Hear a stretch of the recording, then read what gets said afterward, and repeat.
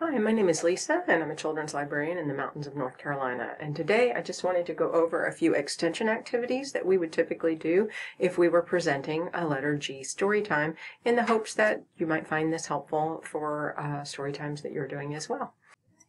So we begin an alphabet focused story time by creating a puzzle around the focus letter of the day.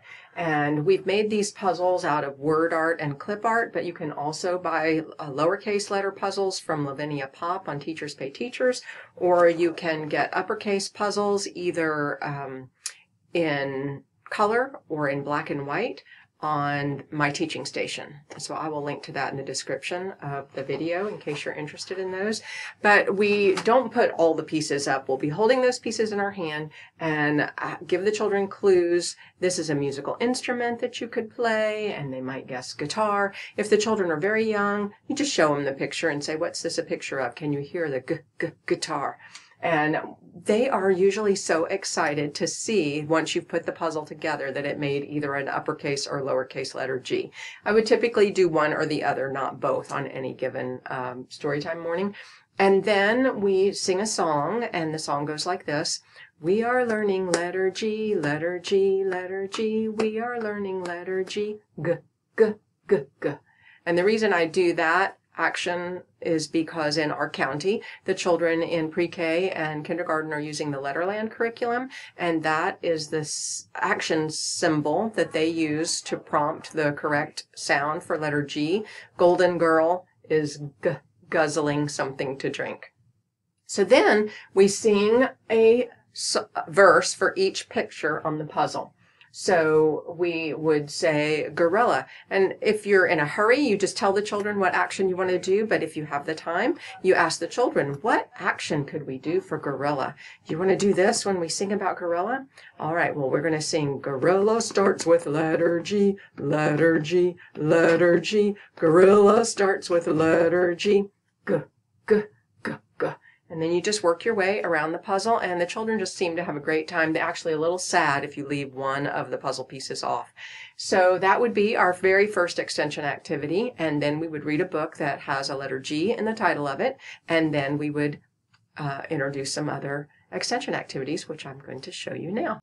So one of the extension activities that we have in our kit, uh, we actually have um, a list of a variety of extension activities to choose from. And then whichever storytime provider is using the kit, they just choose the activities that work best for them. So this is one that they could choose from. It's My Silly Billy Goat. And you would sing the song, um, My silly Billy Goat eats clothes off the line, clothes off the line, clothes off the line. My silly Billy Goat eats clothes off the line as soon as I hang them up.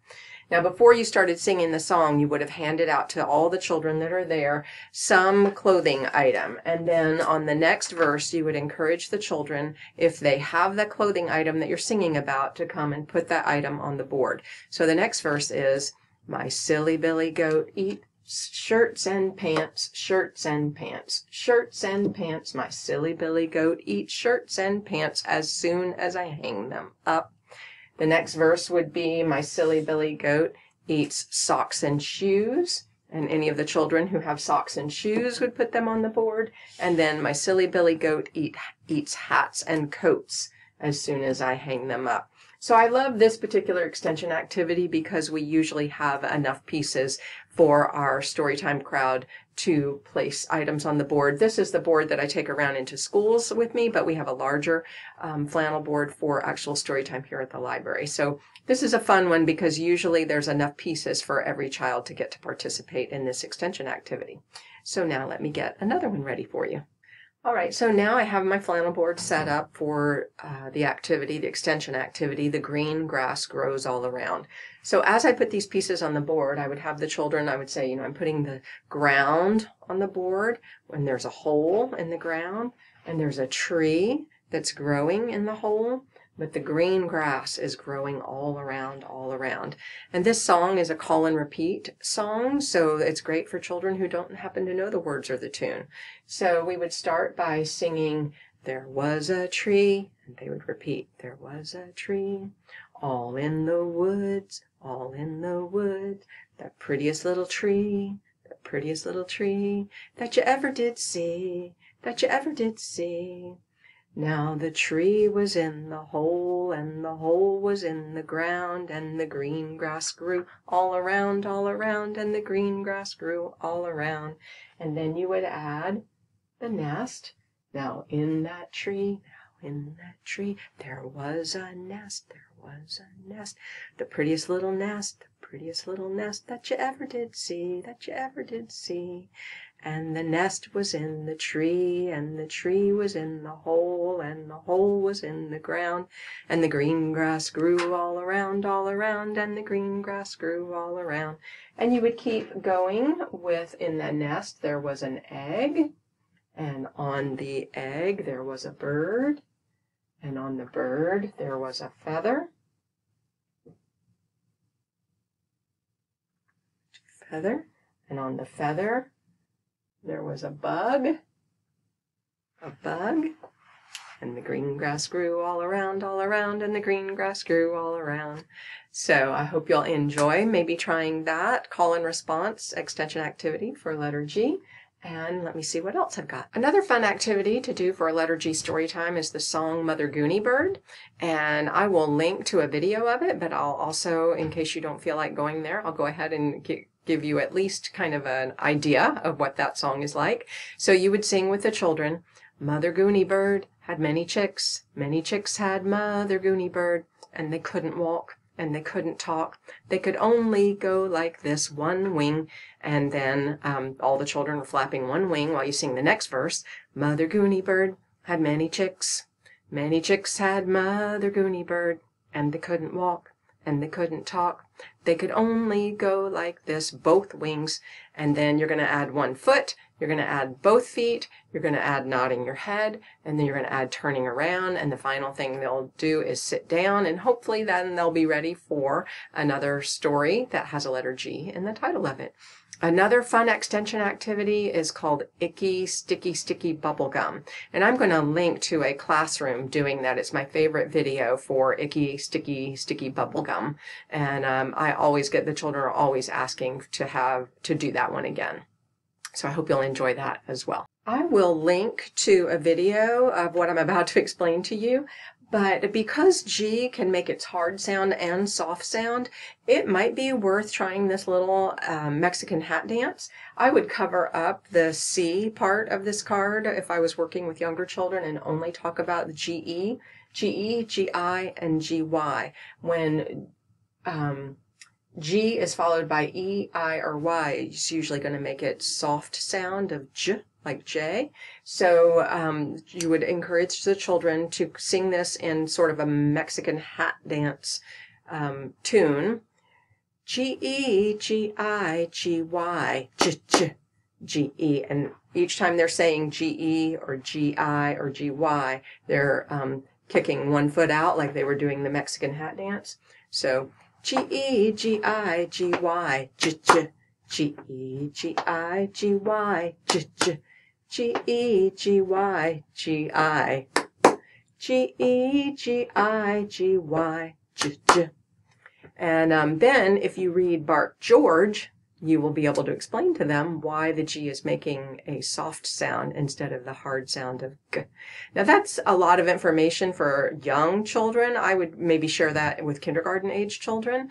And um, I think it just gives you so much more credibility when you're doing a story time with parents and you can let them know some of these phonics secrets, not teaching, not belaboring it, just making them aware. Here's when G might make a sound different than the G sound that we've been talking about throughout the entire story time. So the reason that we do share information like that is because of research like this. Phonemic awareness has actually been shown to be a more potent predictor of reading success than intelligence, vocabulary, or listening comprehension. So anytime we can just play around with the sounds that letters make and make it fun, we are doing a great service for our patrons, both young and old. So I wanted to say if you are interested in getting a tip sheet of extension activities, I would be happy to send it to you if you want to email me, and I will include that email right here on the slide. And oh, there's also another song that you could do for a letter G story time is Down on Grandpa's Farm. And I don't have any manipulatives to go along with that, so I will just link to a video where you can hear that song. We also have created some bookmarks for our letter G story time. And I'd be happy to share that with you as well. And you could edit it, edit out you know, our library information and put your own library information in there. So you could email me for that if you would like that. The last thing we do in a story time is we try to have a friend that we can bring around. In this case, it is a Gooney bird who has a delightful sound. And we bring this around to each child. And if they would like, they could say G says G or J and uh, to the Gooney bird. And then the Gooney bird might say, good job. Sometimes the children like to feed the Gooney bird something that starts with a letter G, like maybe he'd eat some G grapes. Um, you could decide whether or not that is too um, likely to spread germs. But I do find that if you're able to have a, some sort of touching sense with children, that goes a long way. Maybe he could just come around and um, tell them, good job, when he they have been able to tell him that G can say G or J. And then we come around with stamps to stamp their hands. Uh, actually more like their arm or their wrist because if they if we stamp their hands they wash that away fairly quickly. So we're going to stamp that on their wrist and um, that way when they go home they don't have to remember to take home a piece of paper. They don't have to remember to take home the um, bookmark the whatever caregiver they are with might say what's that on your arm? And it gives the children an opportunity to say oh yes the lady from the library came and she did a letter g story time and they can share whatever they remember about the library or about letter g or about the books we read. So that is all i have for you today. So in the words of tigger ta-ta for now